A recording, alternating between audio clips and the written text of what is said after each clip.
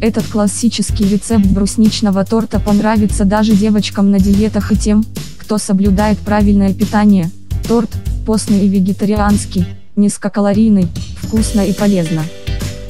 Этот брусничный торт в домашних условиях – лучшее угощение для дорогих домочадцев и гостей. Главное, не спешите, чем лучше корж остынет перед нарезкой, тем проще его будет резать вдоль.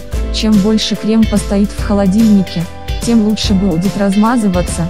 Ну и сам торт лучше подавайте холодным, когда глазурь засохнет, а крем пропитает бисквит. Желаю удачи!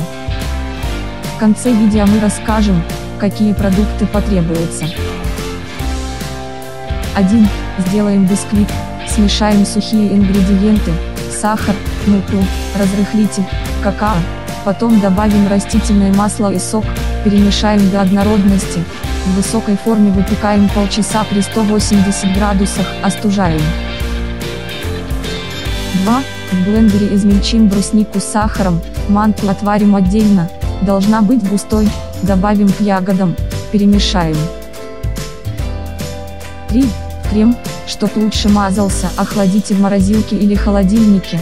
Корж, когда полностью остынет, нарезаем вдоль, каждую часть смазываем кремом, накладываем их друг на друга.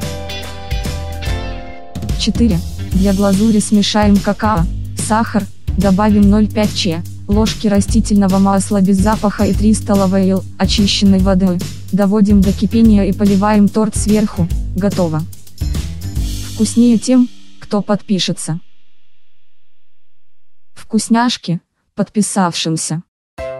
Необходимые ингредиенты.